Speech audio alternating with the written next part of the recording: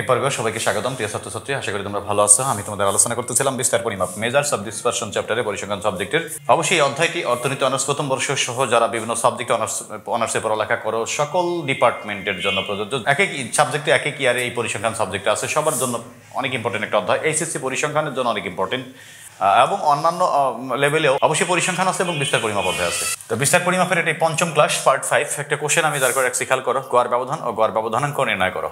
এটা কি বিরত বা বিচ্ছিন্ন বা অবিন্যস্ত নিবেশনের ক্ষেত্রে কোশ্চেনটা? আমি গড় ব্যবধান গড় ব্যবধানাঙ্ক আহ, তিনভাবেই নির্ণয় করতে পারি। তো কিছু বলা নাই আমরা অলওয়েজ মনে করি একটাতে অভ্যস্ত হব শুধু গড় দিয়েই করব গড় ব্যবধানটা। আর গড় ব্যবধানাঙ্ক বের করতে গড় ব্যবধান যদি গড় দিয়ে বের করি তাহলে গড় ব্যবধানাঙ্ক বের করতে আমি ওই গড়টাই ব্যবহার করব গড় ব্যবধানের মানকে গড় দ্বারা ভাগ। তো এখানে কি মেনশন করে বলা নাই যে কোনটা দিয়ে গড় ব্যবধান বের করো? কিছু বলা নাই মানে অলওয়েজ কি গড় দিয়ে করবা তোমরা? মন চাইলে তুমি মধ্য- মধ্যমা দিয়ে করতে পারো মন চাইলে তুমি প্রচুরক দিয়ে করতে পারো। তো আমি দেখাবো একাধিক দিয়ে করানোর চেষ্টা করব। তো প্রথমত আমরা গড় দিয়ে করি, খেয়াল করো। এক্স এফ পাঁচ, ছয়, সাত, আট, নয়, দশ, সতেরো, পঁয়তাল্লিশ, বিশ, বারো। যদি আমি গড় দিয়ে গড় ব্যবধান করি, তো আমাকে প্রথমত কি করতে হবে? গড় বের করতে হবে। এটা কোশ্চেন সাইড আমি এখানে আনসার সাইডটা আনব তো গড় বের করতে গেলে, মনে করো আমি প্রথমত গড় বের করতে চাই, যদি গড় এক্স বার ইকুয়াল কি summation f x by N অর্থাৎ এখন ফ্রিকোয়েন্সি আছে, আমরা জানি সামেশন এক্স বাই এন যখন ফ্রিকোয়েন্সি থাকবে তখন এক্সের সাথে এফ ইন্টু অবস্থায় আসবে। তো এফ এক্স আগে বের করো। এফ এক্স অর্থাৎ f into x f into x পাঁচ দশে পঞ্চাশ। ছয় সতেরো একশো দুই। সতেরো গুণ ছয় ইকুয়াল একশো দুই। তারপরে কি পঁয়তাল্লিশ? গুণ সাত ইকুয়াল তিনশো পনেরো। এরপরে আট গুণ বিশ ইকুয়াল আর দেখুন কত একশো, ষাট নয় বারো, একশো আট। এগুলো যদি আমি যোগ করি সামেশন এফ এক্স হবে, এগুলো যোগ করলে মান হবে সাতশো পঁয়ত্রিশ। তোমরা যোগ করবা ক্যালকুলেটরে গড় দ্বারা যদি আমি গড় ব্যবধানাঙ্ক বের করি, কি লাগবে? X minus x bar modulus লাগবে। তারপরে আরও একটা কলাম করি। দেখো এফ ইন্টু যেহেতু এখানে ফ্রিকোয়েন্সি আছে এক্স মাইনাস এক্স বার খেয়াল করো। এখানে x minus x bar x বারের মান আমি বের করিনি এখনও, দেখো। এক্স বার বলতে অর্থাৎ সামেশন এফ এক্স এফ এক্সের মান হচ্ছে সাতশো পঁয়ত্রিশ ভাগ। এন এর মান হচ্ছে ফ্রিকোয়েন্সির সমষ্টি, গণসংখ্যার সমষ্টিকে আমরা বলব এন একশো চার। সাতশো পঁয়ত্রিশ ভাগ একশো চার ইকুয়াল সাতশো পঁয়ত্রিশ ভাগ একশো চার ইকুয়াল কত? সেভেন পয়েন্ট জিরো সেভেন অতএব x bar equal seven point zero seven এখন আমার দরকার কি? এক্স মাইনাস এক্স বারের মান দরকার। দেখো এক্স মাইনাস এক্স বার অর্থাৎ এক্স মাইনাস এক্স বারের মান কি? সেভেন পয়েন্ট জিরো সেভেন পরম মান, খেয়াল করো। এক্স মান হচ্ছে five minus seven point zero seven অর্থাৎ five minus seven point zero seven equal minus two point zero seven minus তো হবে না পরম মান চিহ্নের কারণে। টু পয়েন্ট জিরো সেভেনই হবে। তারপরে খেয়াল করো এক্সের মান হচ্ছে six minus seven point zero seven অর্থাৎ ওয়ান পয়েন্ট জিরো সেভেন হবে। এক্সের মান হচ্ছে seven seven minus seven point zero seven equal কি? জিরো পয়েন্ট নাইন নাইন কী করলাম? Seven minus seven point zero seven equal zero point zero seven হবে এটা। Eight minus seven point zero seven equal zero point nine three nine minus seven point zero seven equal one point nine three এখন দেখো F into অবস্থা আছে, এই x minus x বারের সাথে modulus x minus x bar বা পরমান x minus x বারের সাথে এফ ইন্টু অবস্থা আছে? অর্থাৎ এইটা আর এটা গুণ করো এফ আর এটা গুণ করলে তো এটা হচ্ছে।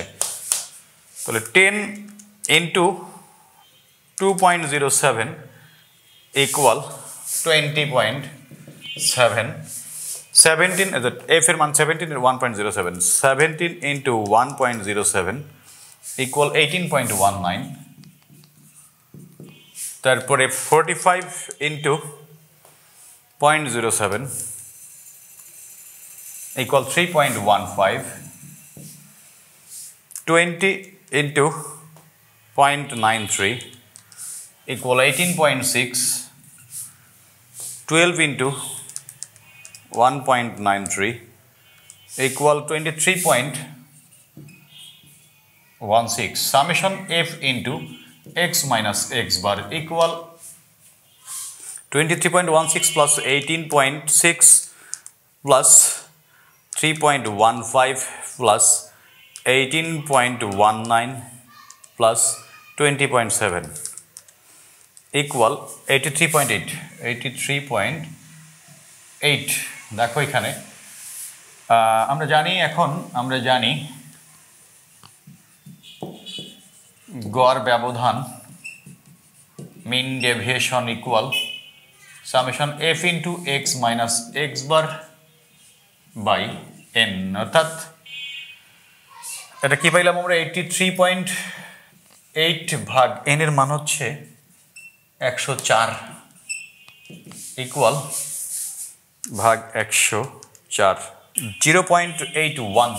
Zero point eight one. এটা হচ্ছে আমাদের কি? গড় ব্যবধানের অ্যান্সার অর্থাৎ MD equal zero point eight one answer বা এমডি এক্স বারও লিখতে পারো এটাকে, অতএব MD x bar MD x bar এইভাবে লেখে এইভাবে লেখে, বা এই ব্র্যাকেট না দিলেও হবে, অর্থাৎ গড় হাতে গড় ব্যবধান, তারপরে এমডি এক্স বার এইভাবে লেখে কি জিরো পয়েন্ট এইট ওয়ান, এটি হচ্ছে আমাদের কাঙ্ক্ষিত অ্যান্সার। আশা করি তোমরা এই পর্যন্ত ক্লিয়ারলি বুঝতে পারছ ডিয়ার স্টুডেন্টস এরপরে আমাদের কি দরকার? গড় ব্যবধানাঙ্ক দরকার। আমি এই অংশটা মুছে দিচ্ছি, তোমরা উঠে ফেলবা। এবং গড় ব্যবধানাঙ্ক এবং গড় ব্যবধানাঙ্ক সিএমডি ইকুয়াল এমডি বাই কি? এক্স বার দিয়ে করছি আমরা এক্স বার দিয়ে ভাগ হবে ইন্টু হান্ড্রেড তাহলে এমডি এর মান কত? Zero point eight one zero point eight one by x বারের মান হচ্ছে seven point zero seven into hundred তাহলে এইট হান্ড্রেডটা এইটটি ওয়ানের সাথে গুণ হবে পয়েন্ট এইটটি ওয়ানের সাথে গুণ হবে, তাহলে এইটটি ওয়ান হবে। Point eight one into hundred equal eighty one ভাগ seven point zero seven equal eleven point four six one one point four six এটা কি পাইলাম আমরা? সিএমডি এর মান পাইলাম। এত পার্সেন্ট এটি হচ্ছে অ্যান্সার তো আশা করি তোমরা ক্লিয়ারলি বুঝতে পারছ ডিয়ার স্টুডেন্টস এরপরে কেউ সমস্যা মনে করে থাকলে অবশ্যই আমাকে কমেন্টে জানাবা। আর ভালো লাগলে অবশ্যই আমার প্রতিদিনের ভিডিওগুলো, অবশ্যই বিভিন্ন তোমরা সামাজিক যোগাযোগ মাধ্যমে ইনভলভ আছো, সব জায়গায় শেয়ার করবা, তোমাদের টাইমলাইনে শেয়ার করবা। ক্লাস ভালো লাগলে অবশ্যই চ্যানেল সাবস্ক্রাইব করবা লাইক দেবা কমেন্ট করবা। আরও বেশি বেশি করে ইন্সপায়ার ফিল করব আমি তোমাদের উদ্দেশ্যে আরও বেশি বেশি করে ভালো কাজ করার আরও বেশি করে ক্লাস নেওয়ার। সর্বোপরি সবাই তোমরা আমার জন্য, আমার পরিবারের জন্য দোয়া করবা। তোমরাও সবাই ভালো থাকো, সুস্থ থাকো। আল্লাহ হাফিজ।